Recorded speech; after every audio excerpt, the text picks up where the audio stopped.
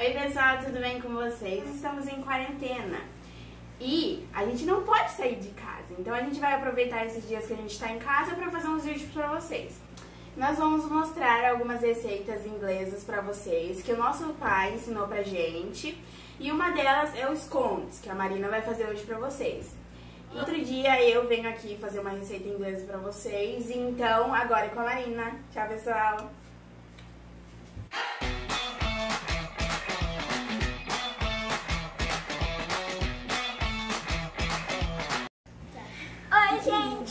Então, hoje eu vou fazer isso pra você.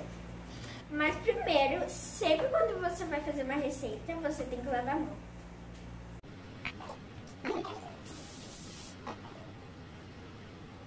Tem vários tipos de pra fazer. Doce, salgado, mas hoje eu vou fazer salgado porque é o meu preferido da minha mãe. O nome desses rãs é Cheese and Onion. Então vamos para a lista de ingredientes. Você vai precisar para fazer isso. Então, você vai precisar de cebola caramelizada.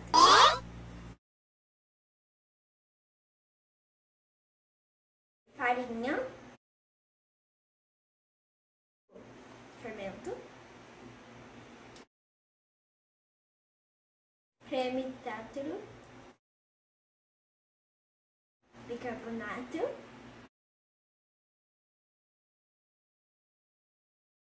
sal,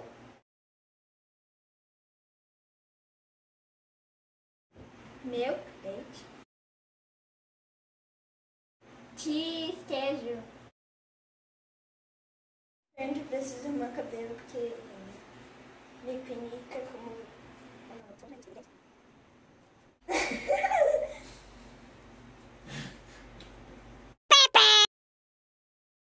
Esse vai precisar de manteiga. Primeiro eu vou ralar o queijo. Você tem que tomar muito cuidado, porque pode cortar o dedo. Eu não quero dedo nos meus cones. Agora eu falei isso?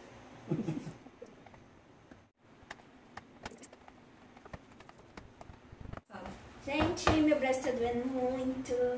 Que, né? Pode me ajudar, por favor?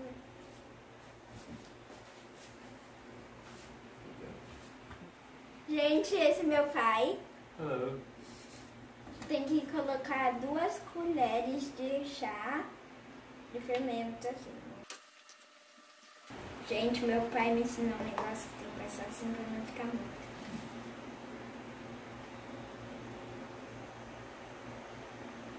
Aí fica bem certinho aqui. Uhum. Gente, eu vou ter que colocar meia colher de sal de chá. Meia colher de chá de sal. Vou colocar. Vou ter que, eu vou ter que colocar. Eu sou muito desastrada, tá? Meia colher de chá de sal. Meia colher de chá de bicarbonato. Uma colher de chá de creme tato. Agora você vai ter que peneirar tudo em um pote maior.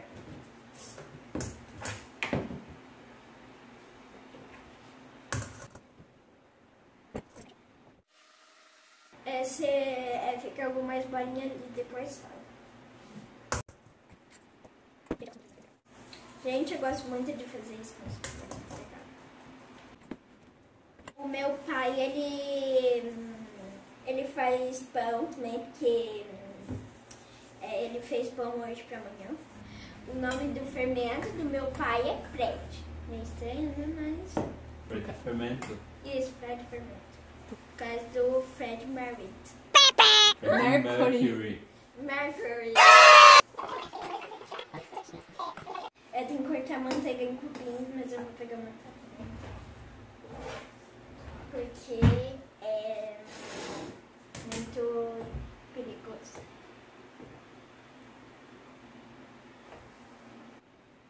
Meu pai, gente, tá dando aula de história pra mim.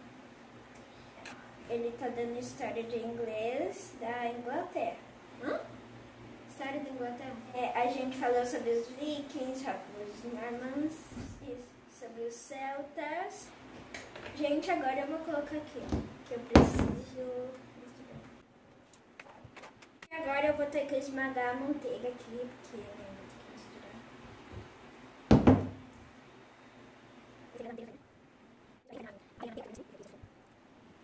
Eu tava esperando a juíza assinar o papel do céu. Aí o coronavírus chegou e tava só um pouquinho. O coronavírus chegou, acabou tudo. Não, não acabou tudo não. É, agora a gente não sabe quando que a gente vai pra Inglaterra. É, eu acho que tá bom aqui. Tá bom. Texture needs to be like very fine breadcrumbs. And right now, it's perfect. Agora eu vou adicionar o, o queijo.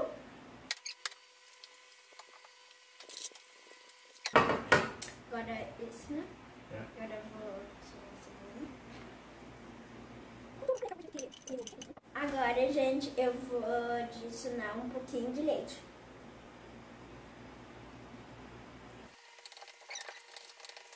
Eu acho que eu já fiz isso com umas três vezes, quatro vezes, não sei. Gente, eu tenho que adicionar mais um pouquinho de leite onde tá é, mulher, é seco. Okay, okay.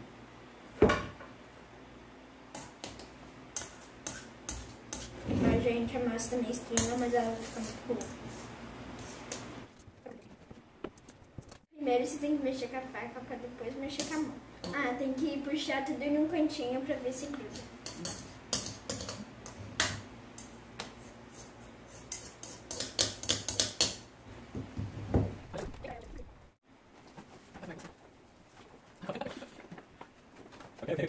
Agora eu tenho que espalhar a farinha. E agora eu vou juntar com a mão pra depois colocar ali pra, aqui na mesa. Agora eu vou colocar. E agora eu vou salvar um pouquinho. né? Agora eu preciso de um negócio lá pra pegar. Gente, primeiro eu vou passar um pouquinho de farinha no bolo.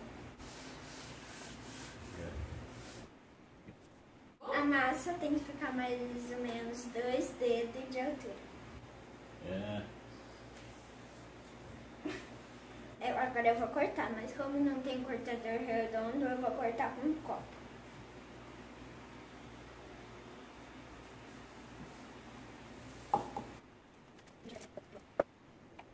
Agora você coloca é, numa forma com papel manteiga. Agora você coloca numa forma com papel manteiga. Tem que deixar um pouquinho de espaço porque os cones é, crescem um pouquinho.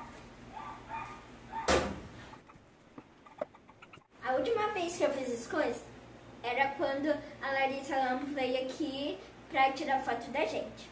Quem não viu as fotos, tá no Facebook, no Instagram e também no vídeo, que tá muito legal.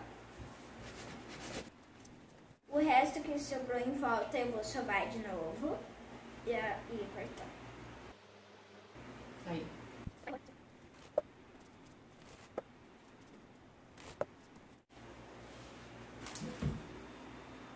Tem que sovar um pouquinho, mas tem que tomar cuidado pra não trabalhar muito, porque senão a massa não cresce. O forno já tem que estar forno já tem que estar ligado pra aquecer, né? E tá mais ou menos do grau mil? Não, é quanto? Não é mil. 220 graus.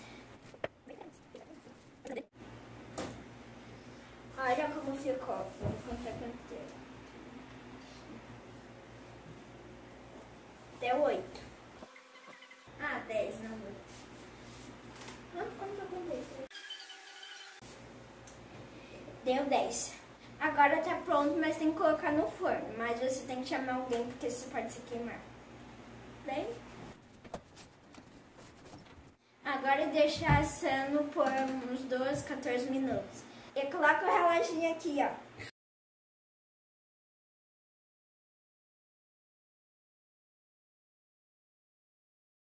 Gente, agora falta 5 minutos. Depois 4.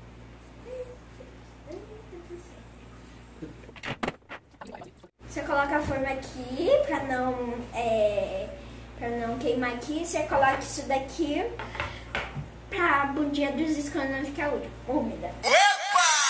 Então, A putinha fica Um minuto e eu vou dar uma olhada. um minuto meu pai vai dar uma olhada. Desculpa. Eu ainda tô pensando na putinha dos cão. A gente tá esperando. Eu vou ler um livro pra vocês. Em inglês, né? How does baby feel? Baby is yawning. How does baby feel? Bebê está bocejando. Como o bebê se sente? Olha lá, abre a porta. Fecha.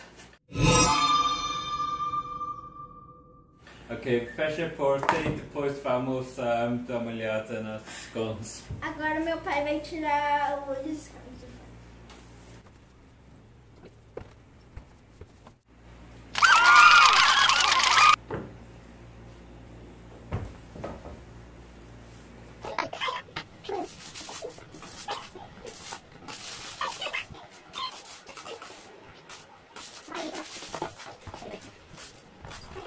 E Agora eu vou deixar é, esfriando pra depois eu comer. Tchau. Agora eu vou cortar ele pra, pra comer, porque eu não aguento mais e pra mostrar pra vocês. Ele, ele é fofinho, assim, a textura é boa, o cheiro é bom. Ele tem textura meio de bolo, assim. mas- O tradicional é o doce, que eles colocam geleia de fruta e creme. No geral, no salgado, eles colocam só manteiga.